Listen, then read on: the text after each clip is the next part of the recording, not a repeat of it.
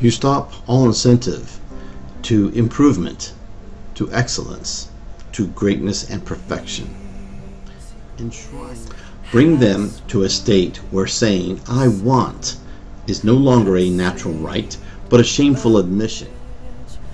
Make them feel that the mere fact of a personal desire is evil. Tell people that a sense of humor is an unlimited virtue. Enshrine mediocrity, and the shrines are razed away. Kill by laughter. Laughter is an instrument of human joy. Learn to use it as a weapon of destruction.